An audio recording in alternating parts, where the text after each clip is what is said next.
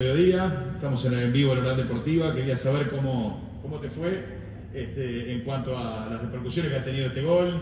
¿Cómo te sentiste? Contame qué análisis haces del partido. Buen día, buen día.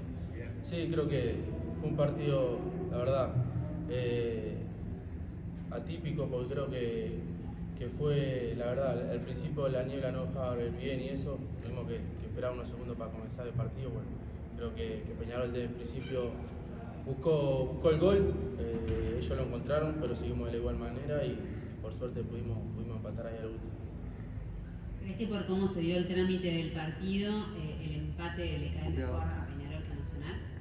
Sí, no era, no era lo que nosotros fuimos a buscar, nosotros fuimos a buscar el triunfo, no se dio, y bueno, fue con, con un hombre menos, creo que el, el, equipo siguió remontando, demostrando esa rebeldía, y bueno, creo que por suerte pudimos empatarlo y, y sirvió, sirvió para, para seguir sumando. ¿Cuál fue la reflexión que han hecho ustedes cuando se quedaron con hombre menos?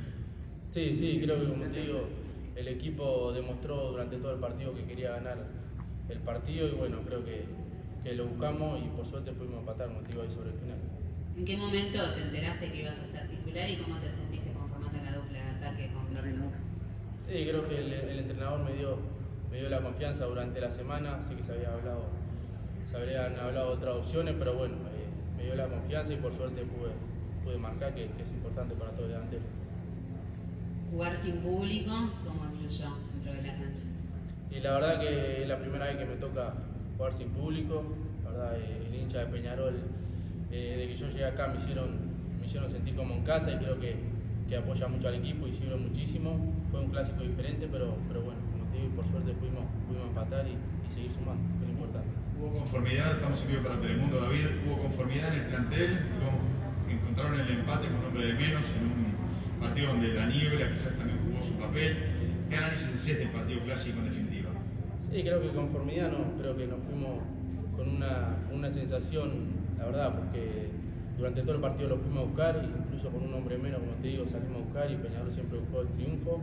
Y bueno, creo que, valoramos eso, el esfuerzo de, todo el equipo, que creo que, punto ese sirvió en ese sentido, porque con un hombre menos ya lo habíamos mostrado en partidos anteriores por, por Copa y el equipo mostró esa rebeldía creo que es muy importante. Contame cómo viste el gol. ¿Será la salida del arquero Mejía? Eh, tú definís en forma cruzada, la pelota entra en forma lenta. Contame cómo viste vos el gol, cómo tomaste provecho de la mala salida, en este caso, del arquero tricolor. Sí, sí, cuando veo que Gary, Gary levanta la cabeza, traté de, de luchar ahí con el, con el, defensa, por suerte le pude ganar y cuando, cuando levanto la cabeza Mejía ya lo tengo arriba y trato de, primero que atiné a tirársela por arriba y bueno, por suerte, por suerte.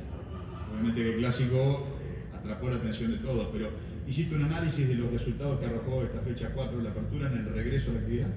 Sí, creo que fueron, fueron partidos con, con bastantes roles en, en, lo general y bueno, eh, recién después de, de, cuatro meses sin fútbol creo que, que bueno, nosotros sacamos algo positivo que, que es lo importante.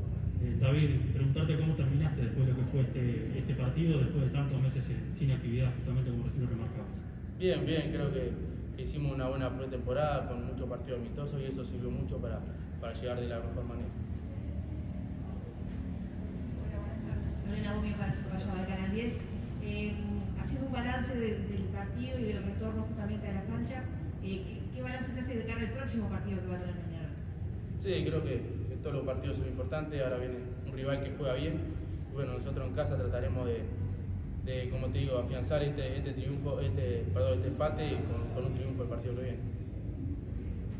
Gracias David. Bien, gracias. gracias a ustedes.